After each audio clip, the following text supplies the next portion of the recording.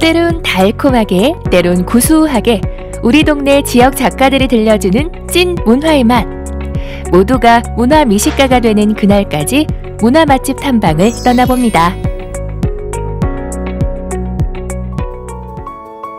탁 트인 바다가 반겨주는 포항 구룡포. 이곳엔 예술가들이 모인 문화 둥지가 있는데요. 오늘의 주인공도 바로 이곳에 작업의 터를 잡았습니다.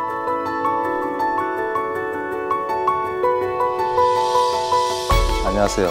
저는 별과 꿈과 희망을 그리는 서양화가 박혜강입니다. 대학에서 서양화를 전공한 박혜강 작가.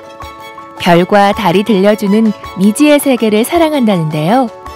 그의 캔버스에는 밤하늘 무수한 별들처럼 많은 이야기가 반짝입니다. 저는 원래 서양화를 이제 했기 때문에 어, 서양 화가 화라 그러면은 수채화와 유화 그리고 뭐 소묘 여러 가지가 등등이 있는데 어, 최근에 유화를 많이 했었고요. 어, 유화도 이제 별 그림을 주로 많이 그렸습니다. 별 관련된 거, 달에 관련된 거, 조금 기존의 작가들이 해왔던 것을 어, 좀 벗어나서 제만의 어떤 표현하는 방식을 제가 좋아하는 추구하는 그런 것들을 그리고자 어, 그런 소재를 많이 바꿔왔습니다. 무한한 우주의 세계처럼 실제 보이지 않는 초현실에 집중하는 박혜강 작가. 기존 서양화에서 많이 봐왔던 사실주의적 그림에서 벗어난 그의 그림은 오묘한 감성을 자냅니다. 작가 하면은 자기만의 어떤 소재를 가져야 된다는 어떤 그런 주제도 있고 다른 사람이 선택하지 않는 소재를 삼아야 되지 않나 모티브를 그렇게 해서 찾아 나서야 되지 않나 그런 생각으로 좀더 어, 시야를 좀 넓게 폭을 넓혀 나갔습니다. 지구의 대기권 밖에 있는 것을 한번 그려보자. 그래서 이제 처음에는 달을 그렸고요. 그래서 달에서 좀 더 나가다 보니까 어, 좀더 우주로, 은하수로 이렇게 좀 그리게 됐고, 그러면서 이제 상상의 폭을 점점 넓혀 나가게 됐습니다.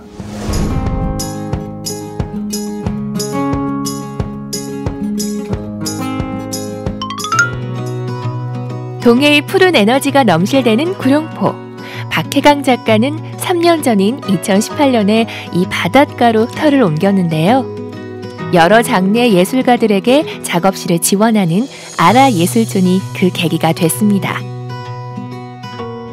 좀 더 영감을 좀 얻고자 도심에서 좀 벗어나서 어, 외곽지로 가면은 뭔가가 좀 아이디어가 좀 새롭게 변하지 않을까 해서 그 중에 찾은 것이 아라 예술촌이고 구룡포고 어, 이 구룡포의 어떤 해변과 어, 그 다음에 이 활동적인 모습에서 많은 아이디어를 현재 찾고 있습니다. 원래 구룡포에 와서 제가 했던 거는 스케치를 주로 했습니다. 어, 이쪽 풍경이, 풍광이 어떻게 펼쳐지는지 예, 한번 탐색을 먼저 했고요. 탐색을 한 과정에서 어, 이제 스케치 도구를 들고 나섰죠. 들판도 그려보고, 배도 그려보고, 어, 다양한 지형들도 그려봄으로 해서 음, 이쪽 풍경을 한번 눈에 한번 담아보고 어떻게 그릴 것인가에 대해서 한번 구상을 어, 먼저 시작을 했고요. 구체적으로 그림을 채색을 들어간 거는 배그림이라든가 등대 그림을 주로 그림을 색깔 칼라링을 들어가고 있습니다. 구룡포의 다양한 모습을 탐색했다는 박혜강 작가. 화가의 시선이 안착한 곳은 배와 등대였습니다. 특히 캄캄한 밤, 거친 파도를 헤쳐나가는 어선들을 빛으로 안내하는 등대는 그에게 색다른 영감을 줬습니다. 저는 잘 그리는 게 목적이 아니고 작가는 새로운 것을 보여줄 수 있어, 야 된다 생각을 하고 있고요. 그 새로운 걸 보여주려면은 작가가 가지고 있는 어떤 표현 기교 기교라기 하긴 그렇고 기법들 어떤 장치들 어, 표현의 장치들을 제 나름 구축하고 있다고 생각하고 있고요. 새로운 소재를 가지고 어떤 평범한 소재에다가 어, 결합시킨다거나 예를 들면은 이제 등대가 있으면은 보통 바다가 있지 않습니까? 그럼 그걸 그린다고 할 때 달이 사실은 그게 크게 보진 않아요. 근데 그 달을 엄청 제가 크게 그렸거든요. 평소에 그 크기는 아니지만 그렇게 배치함으로 해서 사람들 하여금 감정을 다르게 이끌어내는 거죠. 크기를 다르게 한다든가 실제 일어나지 않는, 않을 일들을 어, 실제 일어나는 것처럼 배치함으로써 감정이 일단은 그렇게 불러일으키도 만들어내는 거죠.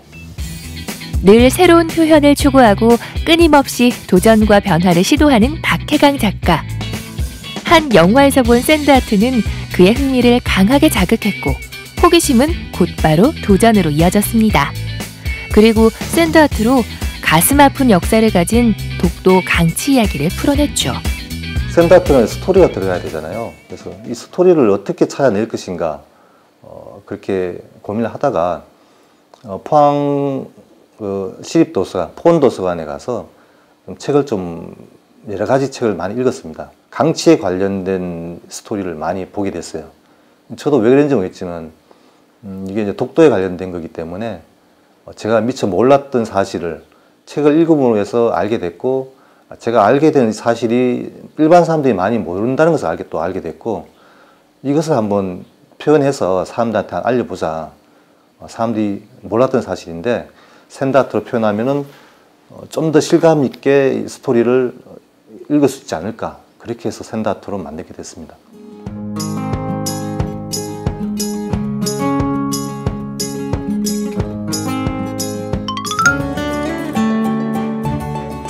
작업에서 즐거움을 찾는 박혜강 작가. 요즘은 아주 재밌는 프로젝트를 진행하고 있는데요. 작가만의 예술 작품이 아니라 지역민들도 참여해서 하나의 작품을 완성하는 공공 미술 프로젝트입니다. 과연 어떤 내용일까요?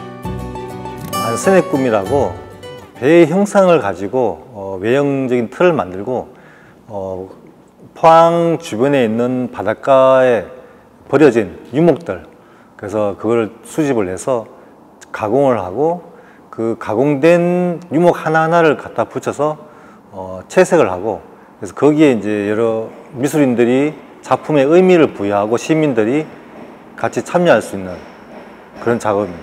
포항이 그 산업화 되는 과정에서 배들이 어, 포항으로 들어가고 나가고 하면서 산업적인 그런 그 역할들을 했지 않습니까? 그 배의 대표적인 이미지를 가지고 형상을 만들었고요. 그 배 형상에다가 내용을 채울 때, 유목을 갖다 채울 때는 어, 사람들의 희망과 꿈을 어, 이 배에 한번 담아보자.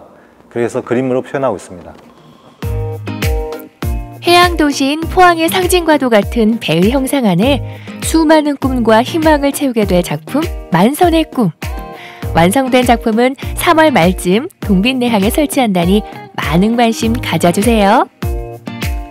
네, 앞으로도 공공미술이라든가 어, 주민들과 함께하는 사업들 그리고 어, 포항시가 행하는 어떤 프로젝트들 도시를 아까 아름답게 가꾼다거나 어, 어떤 의미에서 도 스토리를 개발한다거나 포항시가 가지고 있는 문화적 강점을 어, 좀 더 극대화시키는 방향으로 어, 좀 더 노력을 하고자 합니다. 하나의 그림이 때론 큰 자극과 위로가 될 때가 있죠. 새로움을 멈추지 않는 박혜강 작가의 작품들이 많은 이들에게 그런 선물이 되길 기대합니다.